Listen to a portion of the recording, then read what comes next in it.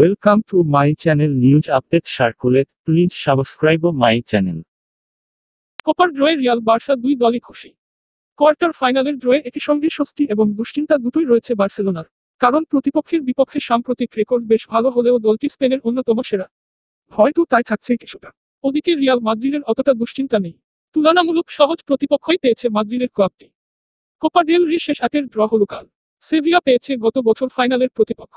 সেই ম্যাচে বার্সেলোনার কাছে পাঁচ শূন্য গোলে হেরেছিল সেভিয়া। সেই বার্সাকেই এবার কোয়ার্টার ফাইনালে পেল দলটি।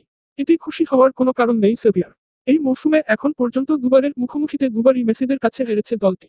আবার দেখা কপাল বটে। তবে বার্সার যে খুশি হওয়ার কথা তা না বললেও চলে। যদিও সেভিয়া স্পেনের অন্যতম সেরা দল। এবার লিগ টেবিলের শীর্ষস্থানীয় বার্সা ও দ্বিতীয় অ্যাটলেটিকো মাদ্রিদের পরে সেভিয়ার অবস্থান। লা লিগা পেন তালিকার শীর্ষে থাকা চার দলের মধ্যে তিন দলেরই জায়গা হয়েছে শেষ আটে বাদ পড়েছে অ্যাটলেটিকো মাদ্রিদ। অ্যাটলেটিকো মাদ্রিদের শেষ ষোলোতে বাদ পড়ার ঘটনা রিয়াল মাদ্রিদের জন্য আপাতত সবচেয়ে ভালো খবর।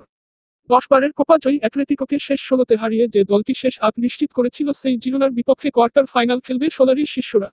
এই পর্বের ম্যাচও দুই লেগের হওয়ায় দুটো মাদ্রিদ ডার্বি, দেখা হলো না ফুটবল প্রেমীদের।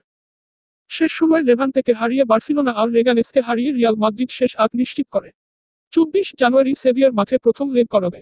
আর ফিফটি লেগ হবে বার্সেলোনার মাঠে একত্রিশ জানুয়ারি। এদিকে পঁচিশ জানুয়ারি রিয়ালের মাঠে প্রথম লেগ। ফিফটি লেগ জিরোনার মাঠে এটি মাসের একত্রিশ তারিখে। অন্য দুটো কোয়ার্টার ফাইনালে ভ্যালেন্সিয়ার প্রতিপক্ষ গেটাফে, রিয়েল বেটিসের প্রতিপক্ষ এসপানিউল ধন্যবাদ সবাইকে ভিডিওটি দেখার জন্য।